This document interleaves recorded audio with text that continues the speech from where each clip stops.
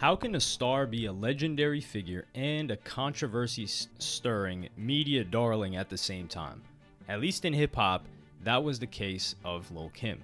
Each generation of artists has at least two to three highly controversial figures who are still recognized and well respected for their artistic output and the influence they bring to the industry. For the women's rap scene of the late 90s, early 2000s, it was Lil Kim.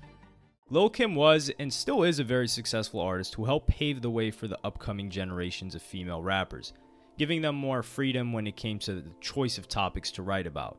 By many, she's seen as one of the main influencers for the whole feminine, sex positive rap that had been dominating the 2000s and 2010s, mainly Nicki Minaj and those after her, giving young artists like Cardi B as well as Azealia Banks and others inspiration on how to present themselves and to make their craft profitable. Also, she's known by hip hop fans as the ex girlfriend of another legendary rapper, Biggie Smalls.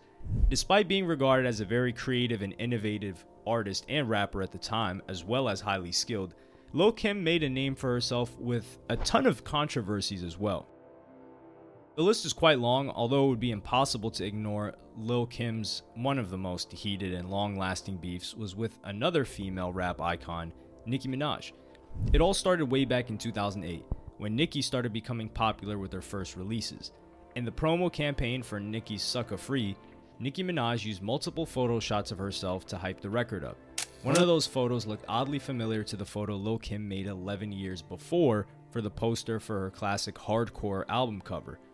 Sure, it could be seen as a homage, but many fans interpreted the photo as a direct shot at Lil Kim that symbolized that Nicki Minaj was ready to take the rap queen spot that Kim held at one point.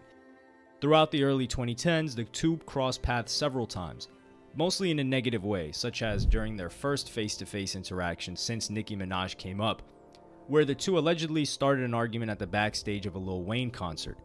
There are many versions of this story, although according to Nicki Minaj herself, it was Lil Kim who intensified the situation.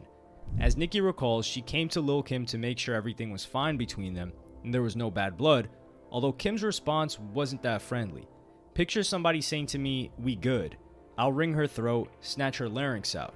We love her. We just want her to pay homage. If you don't pay homage, then F you. After this situation, there were countless sneak disses and references made by both Nicki and Lil Kim that fueled the feud. Live show disses, diss tracks, disses on tracks like Nicki Minaj's iconic verse from Monster, and even direct callouts in interviews. That was a true battle of titans. Lil Kim publicly stated that Nicki Minaj was a Lil Kim imposter and was in the game just to come and go, while she could easily destroy the young artist with her old stuff. And Nicki's general opinion of Kim was that she was a sore loser who should have proved her greatness with Billboard chart positions instead of quote unquote words. In 2013, Nicki Minaj tried to smoothen things out over by acknowledging Lil Kim's influence on her own music and career to which once again Lil Kim didn't respond too kindly. She shut the peace treaty down, continuing to take shots at Nicki soon afterward, and even now, as of 2023, the two still haven't come to peace. Sure, there were glimpses of hope for Nicki Minaj and Lil Kim squashing their beef, like when in one of her interviews, Nicki Minaj admitted to feeling regretful about trying to replicate Lil Kim's image, which basically started the animosity between the two. As Nicki said, it was too soon for that. Not even too soon. It was unnecessary, explaining that she did it because she wanted to do what the boys were doing. Even Lil Kim, who seemed to be the one who was always ready to keep the beef alive, was hinting at the end of the grudge between her and Nicki Minaj. In 2019, in an interview for the Real 92.3 radio station, she said, God bless her, speaking about Nicki Minaj. I wish her the best. I'm past that and over that. Although many fans pointed out that Lil Kim still seems to be waiting for an apology from Nicki, Perhaps she believes that Nicki Minaj snatched her style at the start of her career and went with it without giving Kim proper credit. But she did what she did. And until she's ready to be, you know, hopefully God puts it on her mind or whoever else's mind right, right, to right. do the right thing because she knows what she did. And once that happens, then, you know, I hopefully everyone will stop asking me. In recent years, there hasn't been much happening with the feud, alongside speculations of a possible verses featuring Lil Kim and Nicki Minaj. Nicki Minaj and Little Kim. We kept hearing that. I think that um is that voted passed or, or is it, is I it can't possibility? Say, I can't say it here. I can't say it. So it's still a but, possibility. Yeah, yeah, yeah. I can't say it here. Mm-hmm. Yeah, but just know that if you're gonna wait this long for for verses, if we're gonna have you wait this long, it's gonna definitely be Worth it. worth the time. Right. Like if anything people know about me is like if I'm being quiet, like things are happening. Hopefully, their potential face off will mark the final chapter of this never ending battle, although it seems to not be the case considering they're from two different generations and it would have two completely different audiences for who the better rapper was. Despite the fact that the intensity of their feud appeared to have cooled, with both Kim and Nicki Minaj looking forward to an official and proper way to end the feud on a versus stage, another big rapper, 50 Cent, attempted to make the feud more personal on Instagram last year. Lil Kim and Cardi B made a song together called Plan B Remix, in which Kim, as fans believe, dissed Nicki Minaj's son. 50 was among those people who saw the sneak diss in Kim's bars and tweeted, tagging Nicki Minaj, You better light her ass up, I'm watching. She said something about the baby.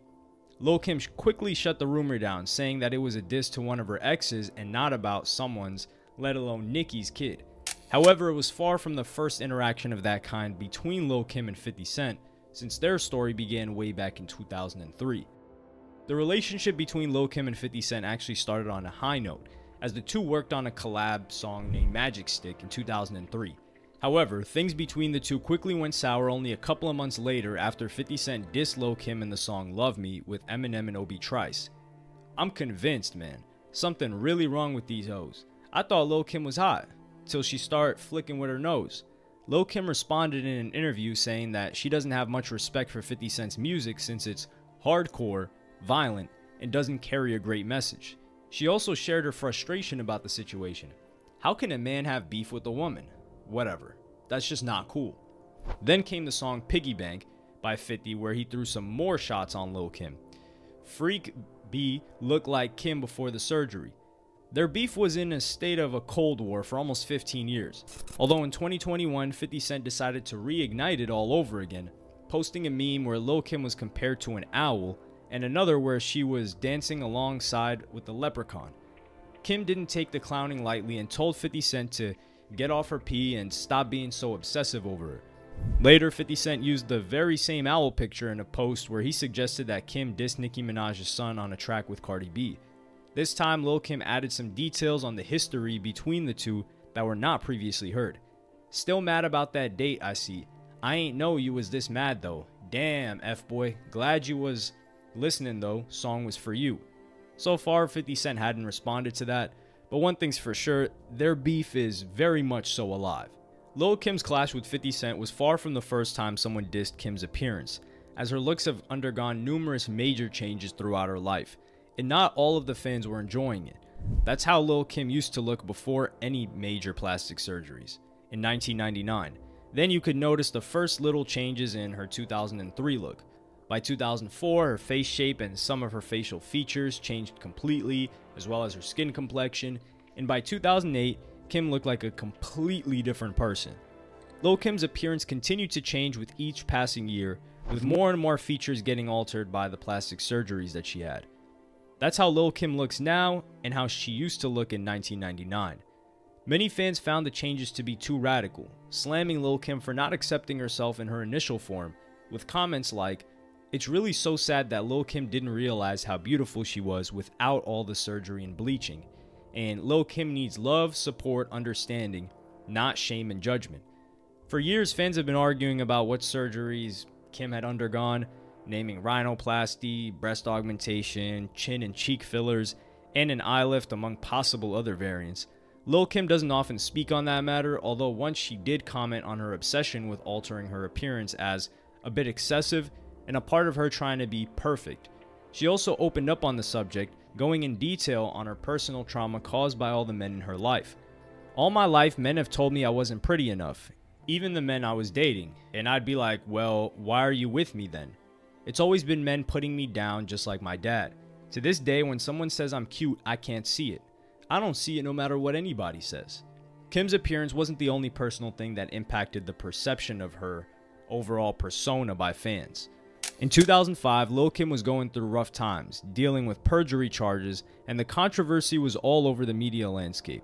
Lil Kim was caught lying to a jury about her companion's participation in a shootout outside the Hot 97 radio station in 2001. Interestingly, the dangerous incident unfolded due to Lil Kim's rap group Junior Mafia's beef with the Capone and Noreaga duo over CNN allowing Foxy Brown to drop a diss verse targeting Lil Kim on their track Bang Bang. Initially, Lil Kim said that she couldn't identify the shooter's identity, although it was later proven that Lil Kim was present at the crime scene when the whole thing happened. Fortunately, Kim received significantly less than the 20 year maximum sentence and was sentenced to serve out a year and a day in prison.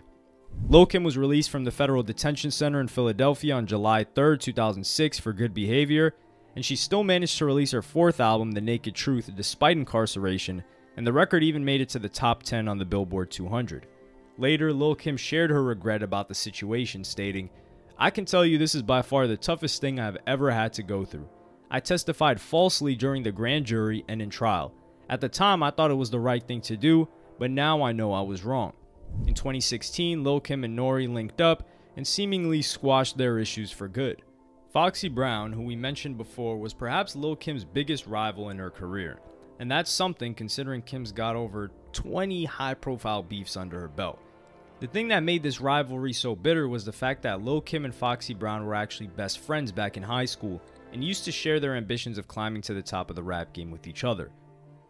However, the tables turned after both women got signed to their first record deals and became direct competitors.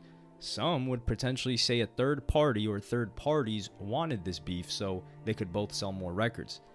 The beef officially began after Foxy Brown and Lil Kim dropped their debut albums only one week apart. The media picked that fact up very quickly and started to compare the two up and coming artists, creating a huge response from hip hop fans. Although, according to numerous sources, the beef already existed before the media got involved. Just like in the situation with Nicki Minaj, Lil Kim and Foxy Brown traded blows through their tracks, dropping diss songs and verses to one up each other. Kim's verse on Mobb Deep's Quiet Storm remix and Foxy's song My Life come to mind when revisiting this beef, although it was the aforementioned Bang Bang feature verse by Foxy Brown that marked the biggest hit in this beef. This verse turned competition into a true hatred between the two artists, which later resulted in real shots being fired on the streets of New York.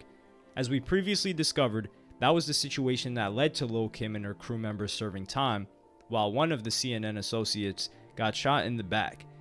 In 2013, the two made an attempt to end the feud at Hot 97 Summer Jam, but it fell through at the last minute, with Foxy telling MTV that it wasn't orchestrated properly. As you could see, Lil Kim wasn't very keen on the idea of having competition and was always ready to go all out on anyone who posed a threat to her throne. However, it wasn't the only thing that bothered Lil Kim, as at one point she had a public relationship with one of the biggest names in hip hop history, the notorious B.I.G. And just like she couldn't stand seeing other women get to the top, she couldn't condone sharing Biggie with anyone else. As far as I can remember, Lil Kim's first public beef started over a man, and Lil Kim's eyes were set on Faith Evans, who was Biggie's wife at the time. Biggie met Lil Kim way back in 1993, although their relationship started on a business note since the notorious B.I.G. was still with his baby mama, Jan Jackson. However, they initially broke up as Biggie and Lil Kim got so close that B.I.G. couldn't hold his feelings any longer. Almost half a year later, Biggie met Faith Evans on the set of a photo shoot for Bad Boy Records and fell in love with her at first sight. Later, the two married, although Biggie and Lil Kim never stopped dating and becoming lovers in the process. Eventually, Faith Evans did find out about her husband's secret affair and even had several physical altercations with Lil Kim throughout the years. The most infamous one was when Faith Evans stormed the room Biggie and Lil Kim spent a night in and caught them red handed. Evans rushed straight to the woman she didn't recognize at first, but when Faith Evans slammed a short woman to the ground, she saw her face and it turned out to be Lil Kim. Another altercation was described in Faith Evans' book Keep the Faith, a memoir. As Evans wrote, she was very pregnant at the time, so it meant that the whole thing happened around the summer fall of 1996. The most interesting fact is that Faith Evans says that it was Missy Elliott who gave her the location of Lil Kim that day, even though Kim and Missy had been friends for a long time, although perhaps they hadn't been friends at that moment. Once again, Faith Evans rushed to the room where Lil Kim was recording one of her future tracks and threw a flurry of punches at Lil Kim. Kim never addressed the situation or Missy's involvement in it, and the only evidence of it happening in the first place is in Faith Evans' book. So fans feel conflicted about this one. In 2016, the two have come to peace and even have a collab track together, Loving You for Life. At the end of the day, you didn't have to be a direct competitor, a love triangle, rival, or even a hater of Lil Kim to make the list of her beefs. Throughout her career, Kim had bad blood with Drake, who supported Nicki Minaj in their beef. Then Lil Kim doubted the loyalty of her longtime friend and colleague Puff Daddy, P. Diddy. Kim's ex once tried to intimidate DJ Funk Flex into playing Lil Kim's music in his clubs. Another controversial hip hop persona, Azealia Banks, traded back and forth punches with Lil Kim and even Tupac was Lil Kim's target at one point. Kim even has a diss track where she throws jabs at her old rival Faith Evans and Tupac Shakur, who went at Biggie with the legendary Hit 'em Up diss track.